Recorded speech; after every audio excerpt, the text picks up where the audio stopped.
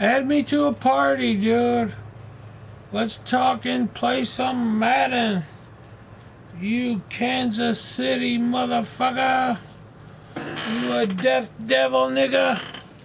Start the party or I ain't pushing a button, man. I need to talk some serious trash white man right here, dude. You ain't gonna talk? Alright, you pussy, get ready for your ass kicking.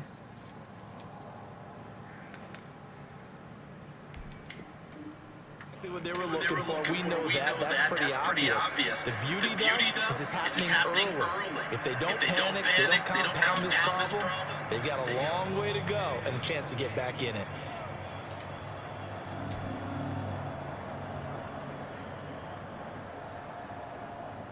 Garoppolo going to bring the Niners up here first and 10 at the 20. They'll run for the first time with Jerick McKinnon. And he is brought down at the 22 after a gain of two. And it brings up second down. 22-yard line. And this is why aggressive defense coordinators love the blitz. It wreaks havoc because they end up taking their attention to the blitzers, freed up the D lineman to make the play. From the 22, here's second and eight.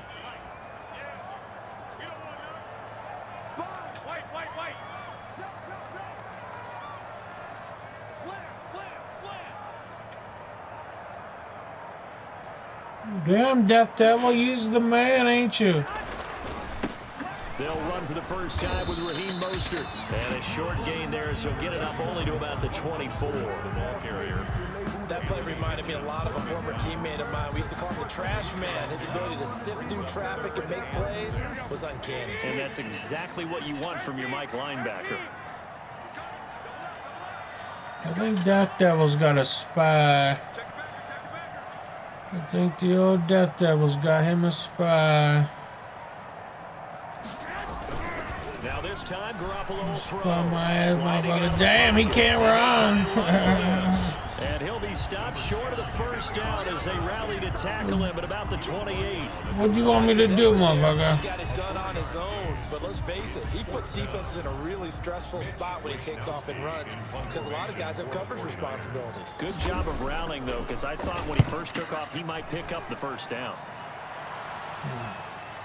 And that one will skip out of bounds as the linesman will mark this thing right at the 15-yard line. They're on 15-yard line. The Chiefs offense about set to begin this drive. Well, they were intercepted the first time they had the football, but now they get it back, and it's still 0-0. And because of that, you know what the thought process is? Interception. What interception? It didn't really happen because they gave up no points. So go back on the attack. Go back and run the offense you believe will be successful. Find your playmakers and give them the football.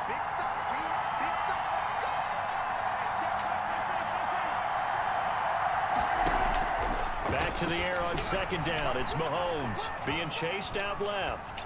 And going deep for Hill. And that will be incomplete. Tried to dial up the long one way out there, but it'll be third down. And that may have been incomplete, but he reminds me so much of when my dad used to take me to the baseball stadium and watch the home run hitters in batting practice. I'll get to the stadium early just to watch this kid throw it. He can throw it out of the stadium. And he'll only get this to the 17, well shy of what he needed. Just a two-yard pickup, and that should necessitate a call for the punt team here on fourth down. On fourth down, Tommy Townsend to punt for Kansas City. Back deep, Trent Taylor. Fair catch called for and made right at the 25-yard line. We'll call that a punt of 54 yards. Well struck. And the Niners will go on offense first and 10.